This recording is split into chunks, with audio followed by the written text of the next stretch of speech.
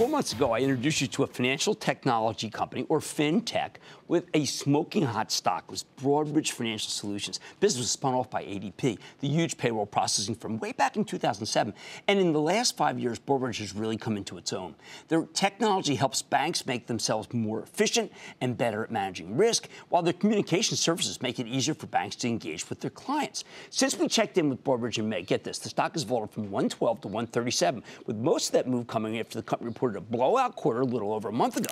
Plus, over the summer, the stock was added to the S&P 500, which always gives you a nice boost. But this week, we got some news that should always cause investors to take stock. We learned that come 2019, Broadridge's CEO is retiring, although he'll stick around as executive chairman with the current chief operating officer, COO, Tim Gokey, taking the helm. Leadership changes, even planned ones, can be unsettling when you've had huge wins as shareholders. So let's get some reassurance with Rich Daly. He's the outgoing CEO of Broadridge Financial Solutions and his successor, Tim Gokey, the current president and CEO, COO, who will take the reins as CEO starting next year. Mr. Daly, Mr. Gokey, welcome to Mad Money. Welcome, welcome back to Mad Money. Great to be Thank back. you. Okay, so we know that it can be one of these things where people say, "Oh, like I like that guy Daly. I don't know about this new guy." So why don't you, uh, let's say, um, why don't you say why it's not a bad thing? Jim, the board and I know that uh, if you're going to go down as a decent, le- decent leadership team, you're going to get succession right. We started on this over a decade ago. We had a strong management team. We still went into a two year search to identify Tim. Tim joined us. He led the turnaround of our capital markets and solutions segment, and he's checked the box every step along the way. He's been a great partner with me, and he's just recently led our team on the next generation of our strategy that we rolled out at our last Investor Day last December. Tim's the real deal. We got this right.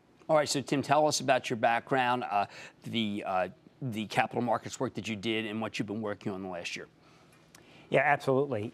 Really, uh, I'll start with the last with the last year, which is we've been working with the whole senior management team on really where to go for the next 10 years, and we are very excited about the vision that we have for that.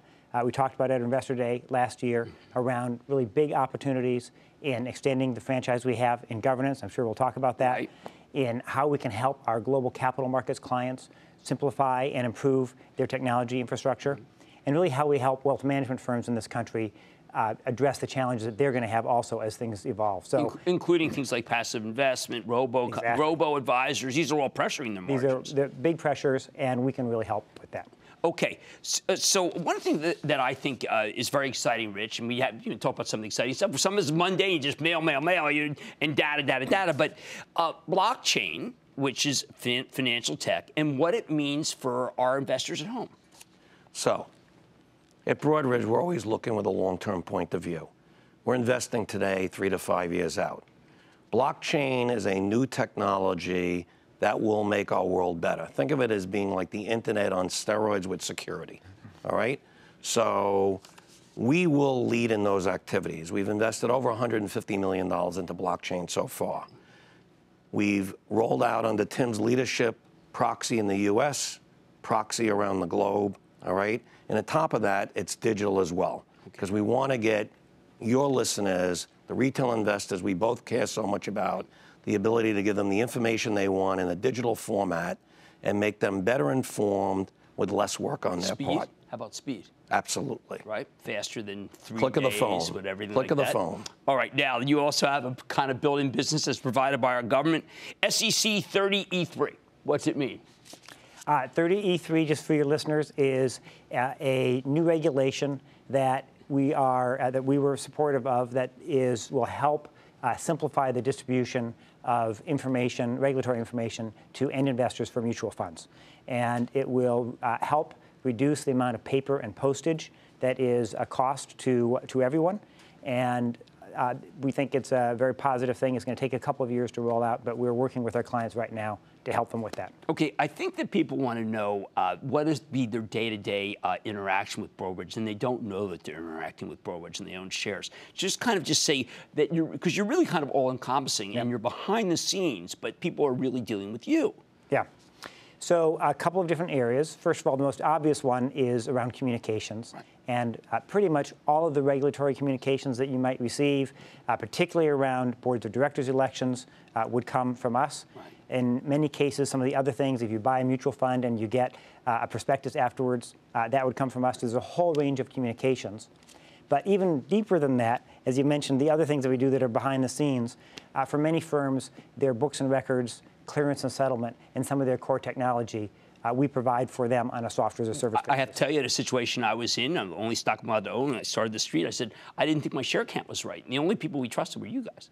You knew the share count of how much I really voted, and that's what really came to it. You couldn't, no one knows and, this but stuff you, you you. had reason to trust us because we're the only entity out there that has the technology and then on top of that provides independent verification. Right. Well, that's what we knew. I said a- this is a big we need to have someone who everything we right. do. and that's what you do, and that's why you're trusted. broker.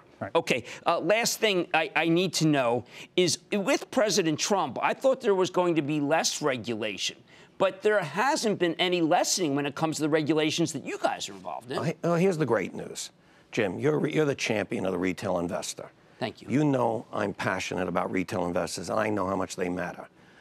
Better news than either of that is the chairman of the SEC, Jay Clayton, Smart. really cares about retail investors. Totally. Everything he says, everything he writes, always comes back to the retail investor. So we now are in a scenario, so it's not adding more regulation, it's making sure that the investor gets counted. So going forward, your investors, who I said the last time really matter, Yeah, thank with you. Jay Clayton are going to matter more. Oh, that's what we want. He's running a roundtable. You can't get anything done unless the SEC vets these things. Right. They're using the roundtable to do it. We'll be there with the ABCDs of Broadridge's technology future. Tim's leading this AI, blockchain, cloud, and digital. All right, we got to cover. it.